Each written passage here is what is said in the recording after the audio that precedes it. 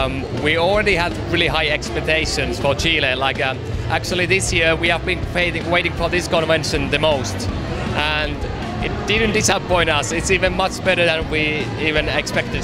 PAWA.cl, hello, this is Elffi from Chile. Uh, it's really a lot of fun. The people are really great, and it's just really warm in your country. Hi to PAWA, and uh, send you greetings from Chile. We're having a great time here.